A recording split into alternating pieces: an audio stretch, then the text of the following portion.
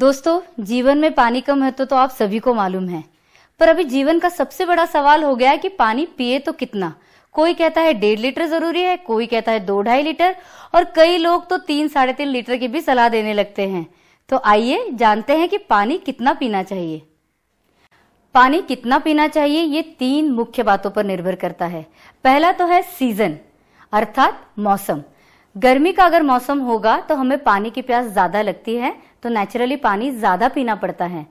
वहीं अगर ठंड का मौसम होगा या बारिश का मौसम होगा तो हमें प्यास कम लगती है तो पानी कम पीना पड़ता है।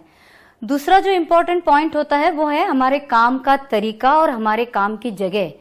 अगर हम काम बाहर करते हैं, धूप में बहुत ज़्यादा घूमते हैं, पसीना बहुत ज़्यादा आता है तो प्यास ज़्यादा लगती है। तो पानी ज़्यादा पीना पड़ता है। वहीं अगर हम किसी बिल्डिंग के अंदर काम करते हैं, धूप से बहुत ज़्यादा नाता नहीं आता है, पसीना नहीं आ रहा है तो हमें पानी की प्यास कम लगती है।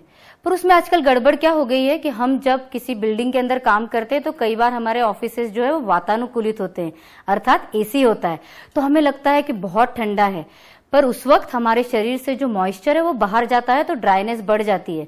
पर लोग इस वक्त पानी पीने का ख्याल रखते नहीं, क्योंकि उन्हें लगता है बहुत ठंडा है तो प्यास लगी हो तो भी नजरअंदाज कर देते हैं। तो ऐसे करना नहीं है, आपको पानी ज़रूर पीना है। दूसरा जो इम्पोर्टेंट चीज़ है, वो है कॉन्स्टिट्यूशन आयुर्वेद के हिसाब से सबसे इम्पोर्टेंट कॉन्स्टिट्यूशन अर्थात प्रकृति. तो प्रकृति के हिसाब से आयुर्वेद कहता है कि प्यास कैसी होनी चाहिए। अगर किसी की वात प्रकृति हो तो उस इंसान का गला बार बार सूखता है। उसे एक एक एक एक करके घूट घूट पानी बार बार पीते रहना पड़ता है। वहीं अगर पित्त प्रकृति का इंसान हो तो शरीर में गर्मी बहुत ज़्यादा होती है तो नेचुरली प्यास बहुत ज़्यादा लगती है। एक ही समय में आप देखेंगे तो लोटा भर पानी पी जाएगा। और वहीं अगर कफ प्रकृति का इंसान होगा तो उसके शरीर में ठंडक बहुत होती है। तो प्यास जो है वो कम लगती है।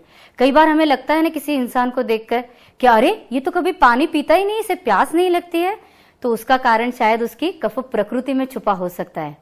पर फिर भी डिसाइड कैसे करें कि पानी कितना पिए? डेढ़ लीटर, दो लीटर, ढाई लीटर? तो देखिए मैं कब से कहे जा रही हूँ, प्यास प्यास प्यास राइट हमें हमारे निसर्ग ने शरीर के अंदर एक मॉनिटर दिया हुआ है, जिसे हम लोग कहते हैं प्यास। तो प्यास लगेगी तो पानी पीना है, प्यास नहीं लगेगी तो पानी नहीं पीना है।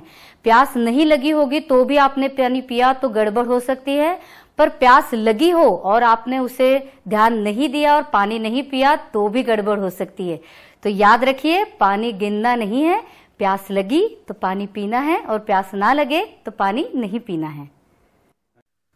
दोस्तों, अगर आपको आज का वीडियो पसंद आया है तो प्लीज़ लाइक, शेयर और सब्सक्राइब कीजिए।